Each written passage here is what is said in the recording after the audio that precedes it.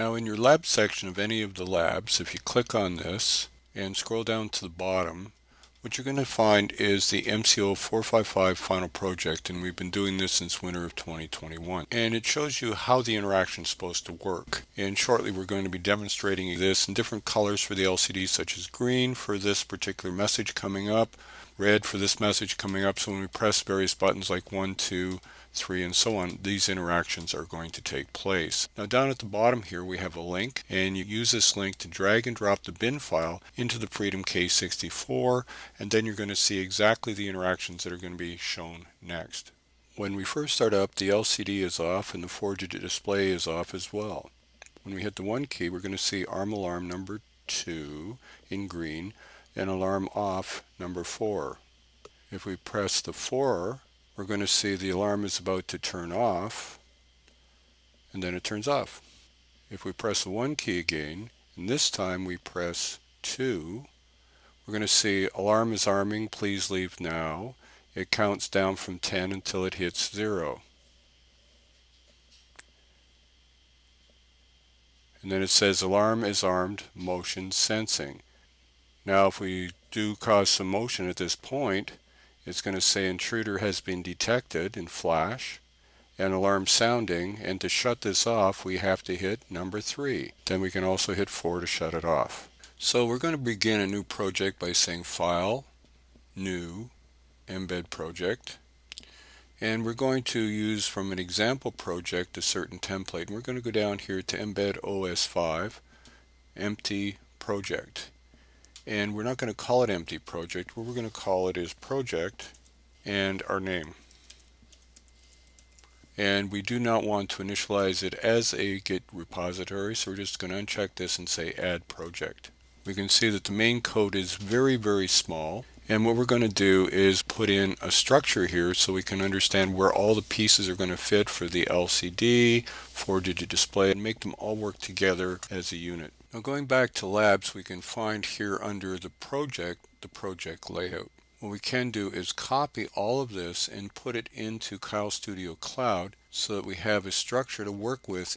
So let's copy this and then go back to Keil Studio Cloud. Since there's hardly anything here of worth, the only thing that we're going to actually use out of all of this here in the program that we've got is we're just going to cut this and put it where it goes, which is in our include section here. And the rest of the code we don't really need. So right now we've got everything set up, so we're just going to spread these out a little bit, and then we're going to flesh out all the stuff so this is basically the structure that we're going to work with. We already have our programmer's block. We're going to start adding to the include section. Now the first thing that we're going to do is work with the LCD. And what we're going to do is bring in the library for the LCD, and I'll show you how to do that right now. To add a library to any project such as this, we're going to go here to File. We're going to say Add Mbed Library to Active Project. And it's going to bring up a requester like this. And what we're going to do is we're going to go to os.mbed.com. And we're going to go here to Code. And we're going to type in Grove LCD RGB backlight and do a search. And the one that we want here is this guy here, Chandler Mats. So we click on here and we say import into Keil Studio. And then we go down here, select all, copy, and let's go back to Keil Studio and we will paste it in here like this. Now when we say next, it's going to ask us to select and we're always going to select under branches, whatever it's got here and say finish. When it's finished, we're going to have the Grove backlight in here in the library and we're going to have Grove backlight.h, and that's the one that we have to put into our include section. So what we're going to do is we're going to go up here, we're going to type number sign include, double quote, and type G-R-O-V-E,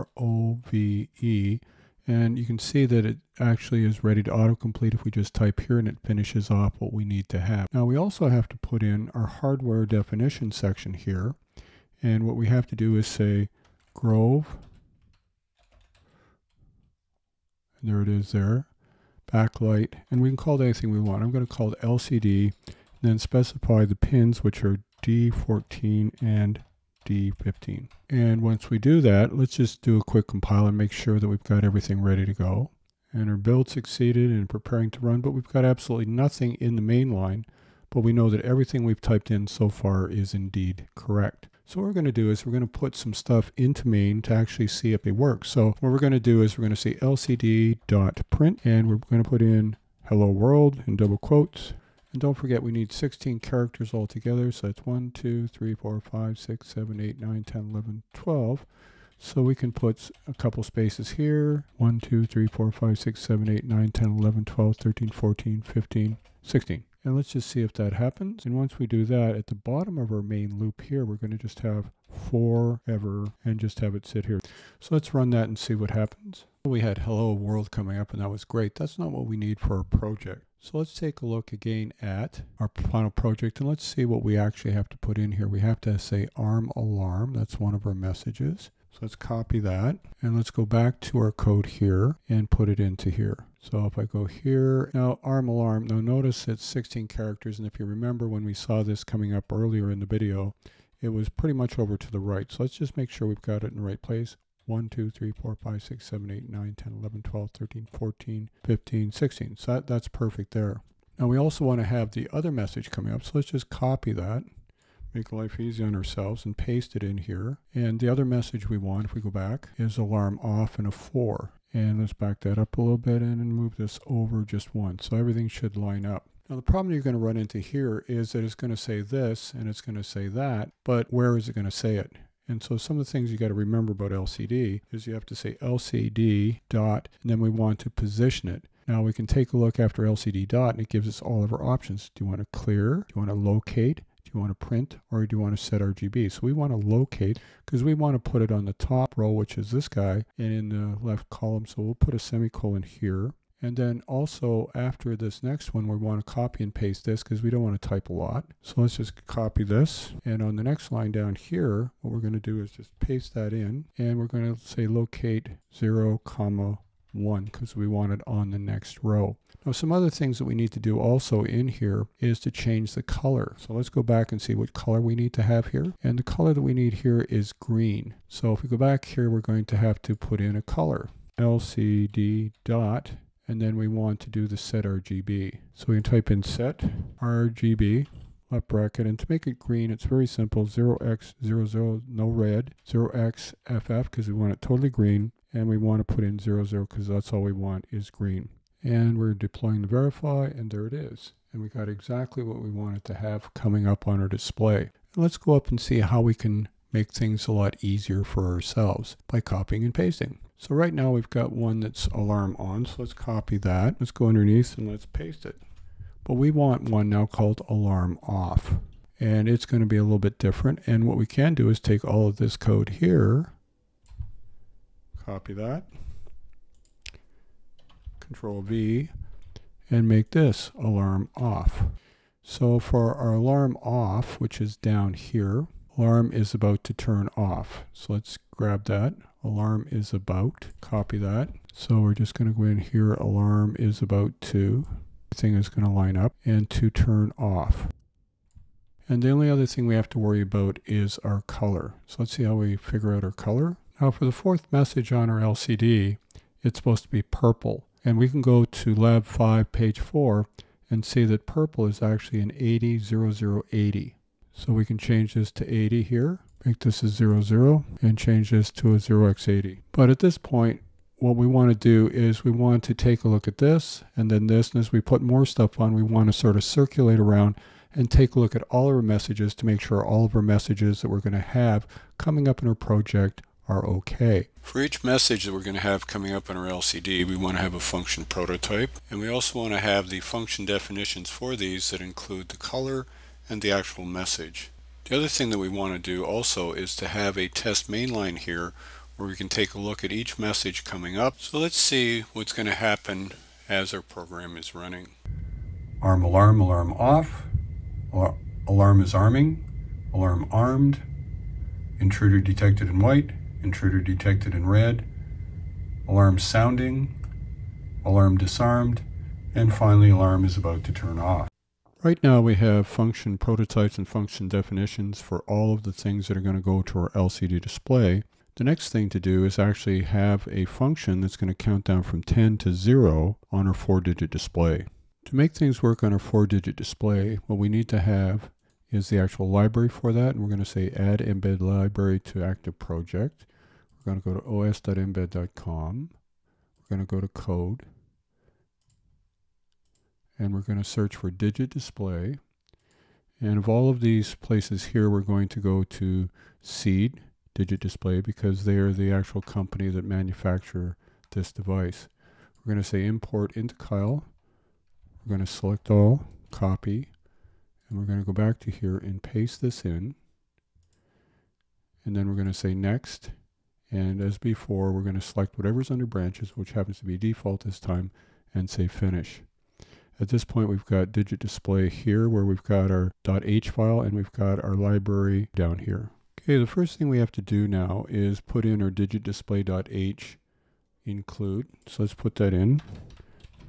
And once we've done that, we also have to tell it where we physically connect to that. And we're going to use the word segs here to indicate that. And D2, comma D3. And the next thing we want to do is go to our main here and put in some code to actually count down from 10 to 0. For unsigned, if you count down to 0 and you say greater than or equal to 0, everything is an unsigned number is greater than or equal to 0 makes an infinite loop. So one of the things we have to do here is treat the last one here, segs.write, when it comes out of the loop, which will have 0, we're going to have to say segs.write i, and then treat that 0 case as something special. So we'll say wait 1.0 seconds, segs.clear because otherwise it's going to count down and the zero is going to stay there and we want it to actually count to zero, wait one second and clear. So let's run our program and see what happens. So we can see it counting down from 10, 9, 8, 7, 6, 5, 4 and when it hits zero it should actually put zero for a second and clear, which it does. The only thing that we may want to adjust is actually the brightness that's there, but code that we've got here does work and we can now turn it into a function. Now let's call this seg counter void and once we do that as a function prototype we're going to copy everything except the semicolon here copy that right to the bottom here and we're going to go up here and copy everything from our main line now. Control C I'm going to copy all this and we're going to paste it right into here. And at this point we should be able to call it up with just one simple function call. So this way it's going to count it up and do exactly the same thing as it did before and you can check this out if you like. One of the advantages of actually doing functions is that we can put a number of functions one right after the other to provide the kind of interaction that we've already seen. For instance, alarm arming is going to say arming alarm, please leave. Seg counter is then going to count down and then afterwards it's going to say alarm armed. So let's run this and just see what happens. So alarm is arming and it's counting down. When it hits zero, it's going to go to the next function, which is alarm armed. Alarm armed motion sensing. So that's a big chunk of the code that we need already.